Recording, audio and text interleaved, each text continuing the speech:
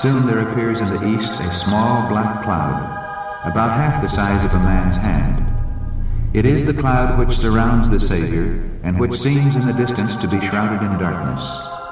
The people of God know this to be the sign of the Son of Man. In solemn silence they gaze upon it as it draws nearer the earth, becoming lighter and more glorious until it is a great white cloud, its base a glory like consuming fire and above it the rainbow of the covenant. Jesus rides forth as a mighty conqueror. The great controversy is ended. Sin and sinners are no more.